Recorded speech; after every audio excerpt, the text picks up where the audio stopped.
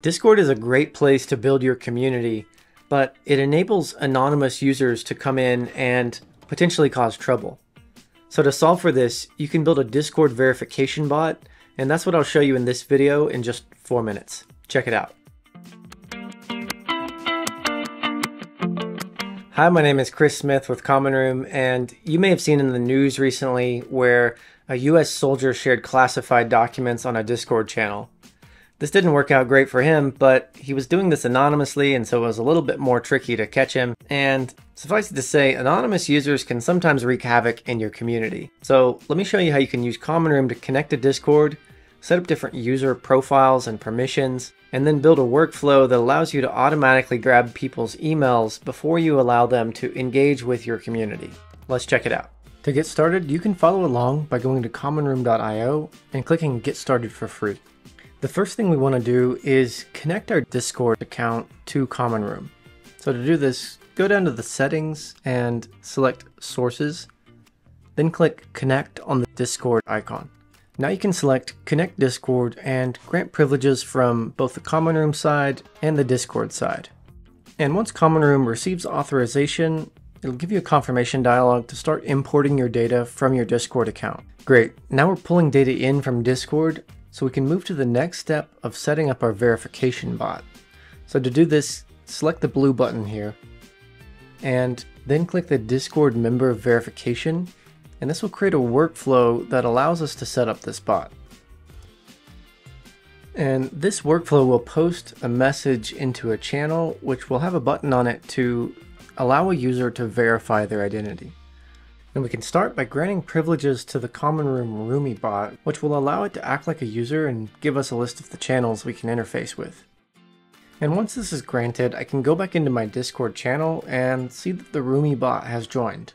So the next thing we need to do is set up two different permission groups. One for default users when they come in who are still anonymous, and basically we need to reduce all of the permissions so they can only see some messages and channels, but not do anything else. So you can go to the server settings and modify the roles appropriately. Here, I've modified the default everyone role to be our anonymous user and just granted minimal permissions. Next, I'll select the plus button and create the new role, changing the name to verified member. And for this member, I'll grant all of the privileges I want for my everyday verified member in my community.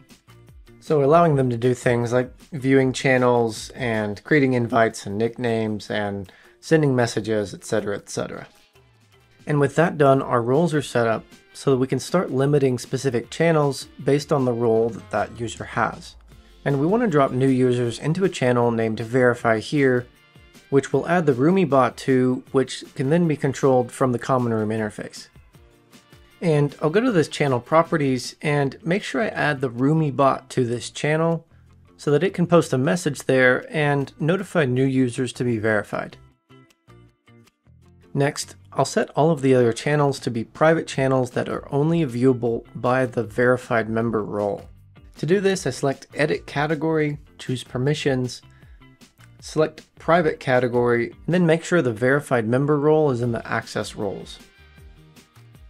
And now we're ready to go back to our workflow and select the channel Verify Here, and give it a message asking the user to select the button which we will name Verify Me and when the user selects that, we will add the role to their user called verified member.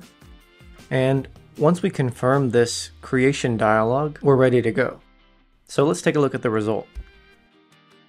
Here, I can see in the Verify Here channel, there's a button for Verify Me. If I select that, I can then personally authorize it to share my email address, username, and other details. And seeing that be successful, I can then go up to my profile and see the new role showing that I'm a verified member.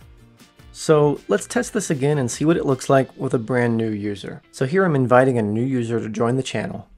And you can see when they join the Discord channel, there's no channels on the left hand side, and there's just the post from the Roomie bot asking them to verify. They can authorize, and once that's confirmed, they get access to all of the private channels on the left hand side which they can then go join and contribute and experience the community to their heart's content. Great success. Thanks for watching and feel free to join us in our Slack community at commonroom.io forward slash uncommon.